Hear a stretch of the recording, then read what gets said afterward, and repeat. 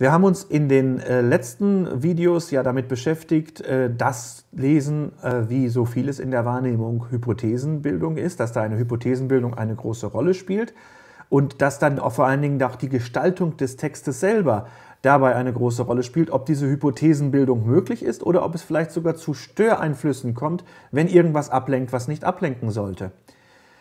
Ähm, wir haben uns dann intensiv damit beschäftigt, welche Schriftarten es gibt, welche Schriftartenfamilien es gibt und welche Schriftart man am Bildschirm verwenden sollte und haben uns da damit beschäftigt, ja, was äh, da notwendig ist, wenn zum Beispiel Unterscheidbarkeit auf Buchstabenebene gewährleistet sein muss oder was man machen muss, um ja eine Lesbarkeit auf verschiedenen Bildschirmtechnologien wirklich hinzukriegen.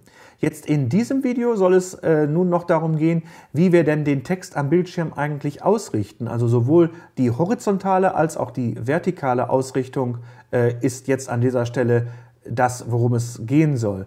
Und äh, beides ist besonders wichtig, denn ähm, es hat stark mit der Forderung nach Ablenkungsfreiheit zu tun. Und ablenkend wirken kann bei Text sehr schnell etwas, zum Beispiel ein Zwiebelfisch.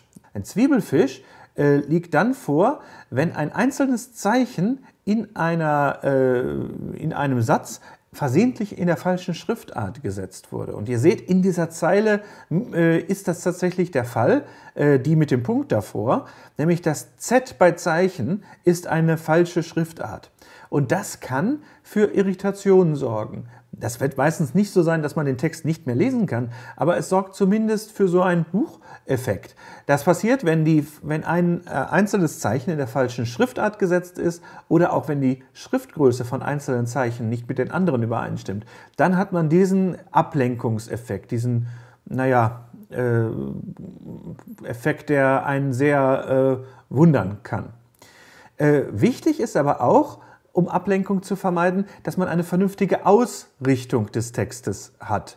Und äh, das sehen wir hier in dem Absatz darunter. Guck mal, die mittlere Zeile, die ist eingerückt leicht. Und das sieht sofort unordentlich aus und es sorgt auch für eine Ablenkung, also dass man äh, irgendwie automatisch dorthin guckt, weil da eine Ausnahme an dieser Stelle passiert. Das sollte man also immer vermeiden, Text unklar ausgerichtet zu haben.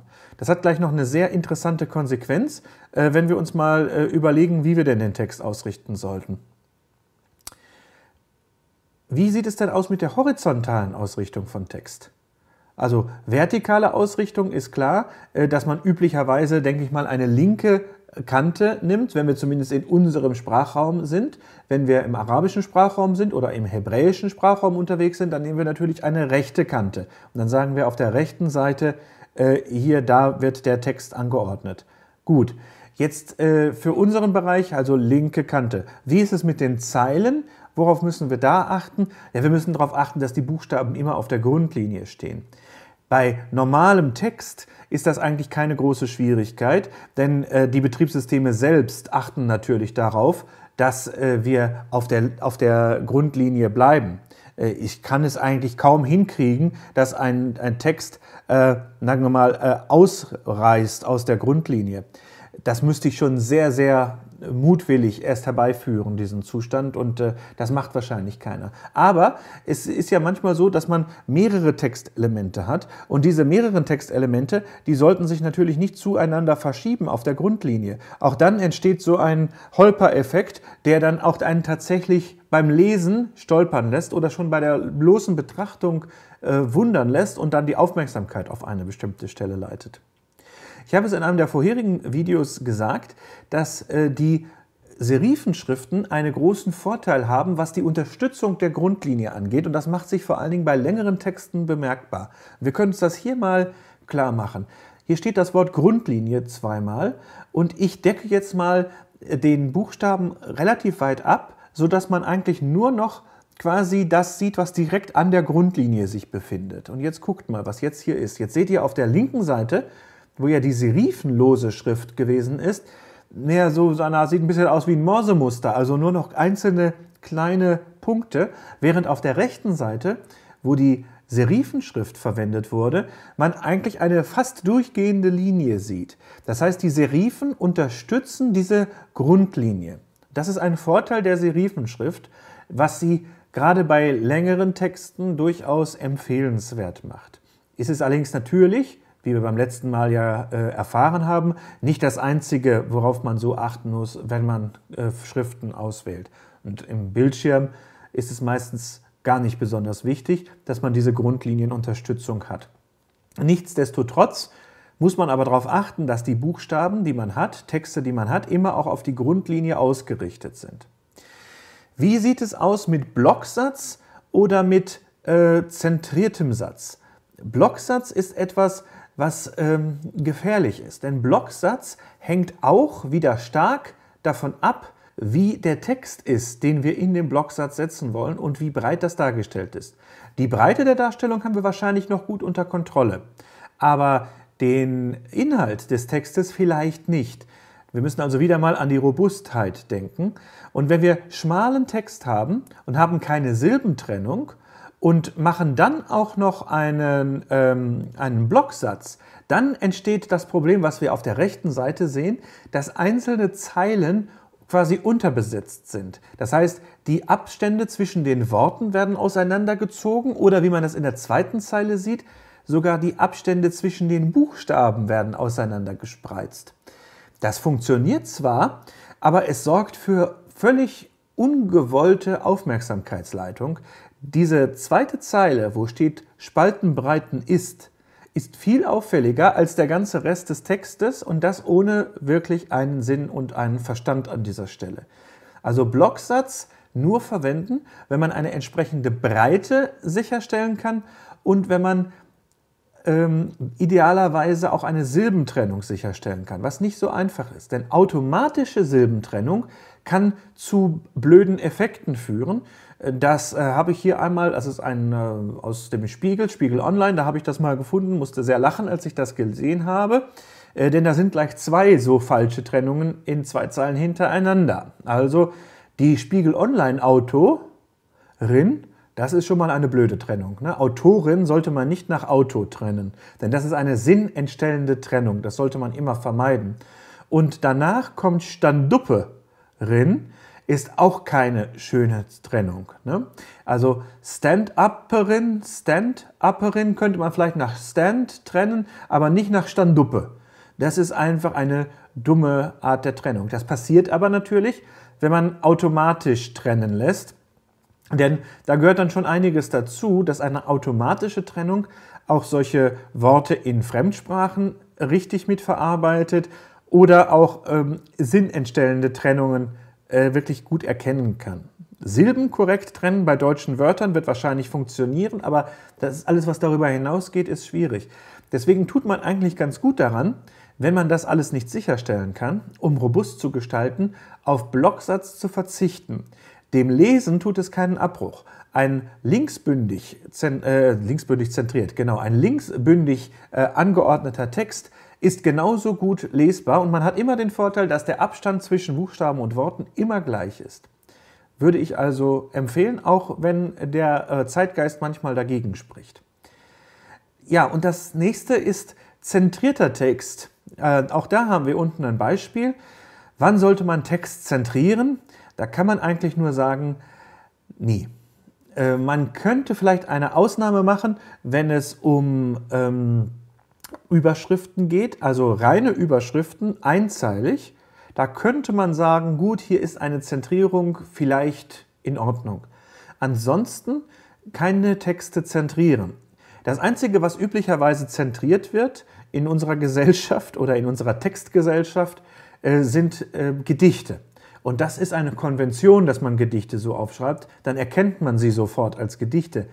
Aber dem Lesen tut es auch da keinen äh, Gefallen, dass man das so aufschreibt. Denn das Problem ist, dass ich keine Führungslinie mehr habe. Ich kann also nicht mehr einfach bestimmen, wenn ich am Ende einer Zeile angekommen bin, wo es denn in der nächsten Zeile weitergeht. Und dadurch wird das Lesen an dieser Stelle verlangsamt oder es passiert sogar, dass man in die falsche Zeile gerät und dann äh, sich verliest. Also zentrierter Satz, ganz schlecht, Blocksatz, nur in Ausnahmefällen Flattersatz, so nennt man das, wenn die eine Seite ähm, aligniert ist, also ausgerichtet ist, und auf der anderen Seite die Zeilenenden so flattern, also jedes Mal anders sind. Flattersatz ist völlig in Ordnung, im, generell im Satz, aber auch, äh, und das im Speziellen im, am Bildschirm, denn denkt daran, wir haben es nicht unter Kontrolle. Wir wissen nicht genau, was da steht, häufig. Wir wissen teilweise auch nicht, welche Schriftart gewählt wird, wenn wir zum Beispiel verschiedene äh, Systeme ähm, als Ziel haben und jeweils die eigene Systemschriftart verwendet wird. Also vorsichtig sein damit. In dem Zusammenhang noch interessant sind Zeilenabstände, denn auch da werden häufig Fehler gemacht. Äh, und der häufigste Fehler ist, dass die Zeilenabstände zu klein gewählt werden. Dann entsteht der Effekt, den wir hier in dem kleinen grauen Kasten auf der rechten Seite sehen. Da hat man so den Eindruck, dass die Buchstaben aus den verschiedenen Zeilen schon ineinander ragen. Das tun sie faktisch hier gar nicht. Aber es ist zu nah aneinander und es ist dadurch schwer zu lesen und man findet auch die nächste Zeile nicht richtig, weil die Zeilen sich voneinander gar nicht richtig absetzen. Wenn ich hingegen einen zu großen äh, Zeilenabstand wähle, dann passiert der Effekt, dass ich das nicht mehr als zusammenhängenden Text wahrnehme, sondern wirklich als einzelne Zeilen dann sehe. Und äh, das auch, äh, auch das kann das Lesen erschweren. Zeilenabstand sollte man also, naja, eigentlich meistens so lassen, wie er ist. Der übliche Zeilenabstand ist ein Faktor von 1,2. Und wir sehen hier auf der Darstellung, was der Zeilenabstand eigentlich ist. Also von Grundlinie zu Grundlinie ist der Zeilenabstand und was bedeutet da 1,2? Das 1,2-fache der äh, Schrifthöhe ist gemeint, also der Kegelhöhe. Ähm, und das, was dann dazwischen ist, das nennt man in der Drucktechnik einen Durchschuss. Der, ähm, der Begriff ergibt durchaus viel Sinn, wenn man sich äh, das mal überlegt im klassischen Bleisatz. Ich schiebe in eine Zeile die ganzen Buchstaben rein und dann tue ich einfach ein Stück Blei dazwischen. Das schieße ich da durch und dann kommt die nächste Zeile und das macht diesen zusätzlichen Abstand. Ein Zeilenabstand von 1,2 der Schrifthöhe ist normal. Wenn ihr jetzt irgendwo was davon hört, dass ihr 1,5-fachen Zeilenabstand verwenden sollt, dann meint das was anderes. Denn dann ist das 1,5-fache des Normalen gemeint, also 1,5 mal 1,2 oder 2 mal 1,2, wenn man doppelten Zeilenabstand verwenden soll. Diese Technik des doppelten Zeilenabstandes, wo also quasi immer eine Zeile dazwischen frei ist oder eine halbe Zeile bei 1,5-fachem Zeilenabstand, ist eine Technik, die aus der Schreibmaschinenzeit übrig geblieben ist, aus einer Zeit, als man zwischen den Zeilen korrigiert hat, als man äh, Manuskripttexte hatte und konnte dann dazwischen was schreiben, um äh, Anpassungen da reinzuschreiben. Das ist eine Technik, die auch heute noch im Verlagswesen verbreitet ist, die aber, sagen wir mal, bei uns eigentlich wenig zu suchen hat und äh, über die ich mich immer ein bisschen wundert, dass sie so häufig äh, als Regel gesetzt wird für, Ab, ab äh, für äh, Ausarbeitungen in, ähm, in der Universität oder in der Schule. Denn wirklichen Zweck hat das an dieser Stelle gar nicht mehr. Aber es ist so und äh, wir werden da wahrscheinlich die, naja, die Gewohnheit auch nicht äh, so schnell loswerden. So viel an dieser Stelle hierzu und im letzten Video des Bereichs Typografie geht es dann um die Möglichkeit, Text am Bildschirm auszuzeichnen, also wie man es hinkriegt, dass bestimmte Textteile herausgehoben sind und vielleicht besondere Aufmerksamkeit erfahren können.